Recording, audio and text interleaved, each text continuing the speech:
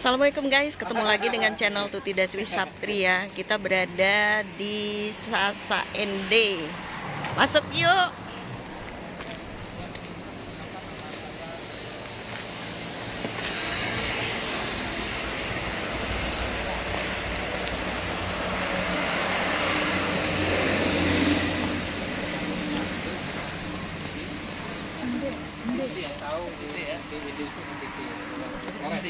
Apa arti Sasa ND, Pak?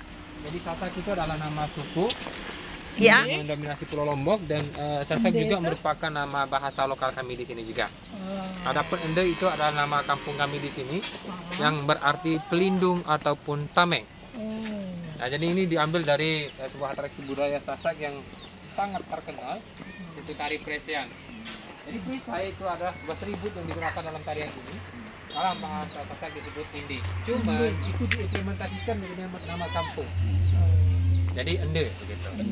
Bukan indi lagi. Gitu. Tatos tuhu trasna. Nah, tata sui tasnya ini adalah uh, semboyan untuk Lombok Tengah, Pak. Di Lombok Timur, Lombok Barat juga punya. Di atas itu adalah arif bijaksana, eh, ada bentuk sungguh-sungguh, kemudian tasna itu adalah kasih sayang. Jadi, Jadi pada tatas memang, tuhu tresna artinya eh, arif bijaksana, sungguh-sungguh dan kasih sayang. Iya betul. Ini memang bentuk rumahnya gini. Ya, jadi bentuk rumah adatnya memang seperti ini, semacam di belakang. Ini berapa unit rumah? Di sini 30 apa, apa namanya 30 rumah dan satu rumah untuk eh, satu keluarga.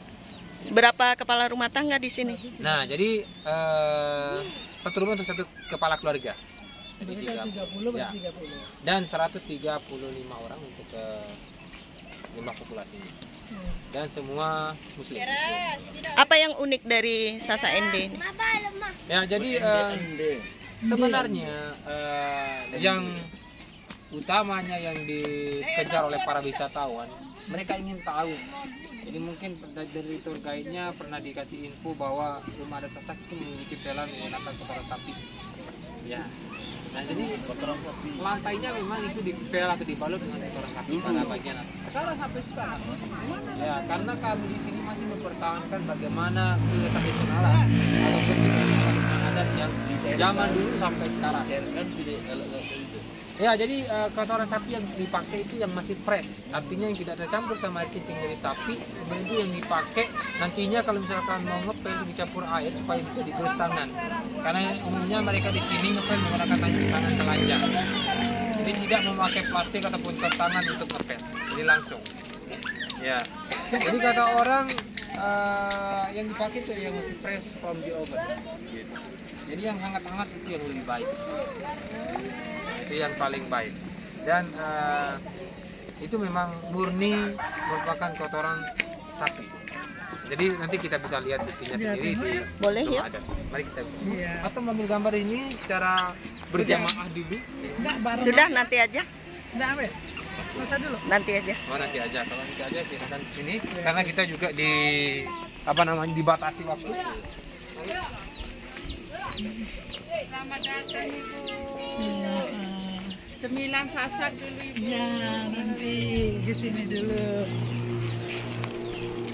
Jadi di sini saya akan memberikan keterangan terkait bagaimana rumah adat dan kehidupan masyarakat kami yang dengan salah satu bentuk ya rumah adat Sasak yang tetap dijaga kelestariannya. Dalam bahasa Sasak rumah ini diberi nama Jorok, Bali jorok. Tani. Jorok. Bali itu artinya rumah. Sedangkan Tani artinya petani. Maka di sini ada petani, rumah petani. Nah, di samping petani, mereka juga rata-rata ternak sapi. Nah, jadi dari dulu memang mereka uh, senang Justru untuk keterangannya itu. sapi atau merupakan uh, suatu kebiasaan yang tidak mendarah daging begitu. Jadi uh, sapi di sini itu sebagai selain sebagai pendongkrak perekonomian juga merupakan uh, produk semen lokal. Nah, kan- ya. Jadi berbicara tentang masa lalu, uh, ini merupakan uh, alat bantu mereka untuk bekerja di sawah, untuk membaca. Ini hasil apa? Oh, apa? Kotoran sapi. Iya.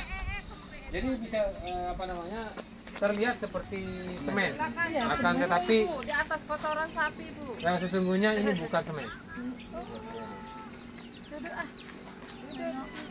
Jadi alasan kenapa kami gunakan itu sebagai pembaca awal karena kami di sini semua muslim yang secara filosofi meyakini bahwa kami dari tanah akan kembali ke tanah. Kotoran sapi adalah simbol kerja keras atau ekspresi perasaan. Karena pentingnya peranan sapi dalam kehidupan mereka di sini, maka mereka tuakan dalam ekspresi perasaan begitu.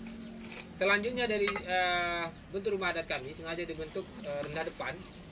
Jadi tujuannya ketika dia bertamu ke dalam itu lebih terlebih dahulu mesti menundukkan kepala sebagai tanda menghormat, menghormati pemilik rumah. Oh iya. Nah, dalam bahasa keakraban kami di sini juga mengatakan kata tabi balar, itu artinya permisi. Tapi Iya.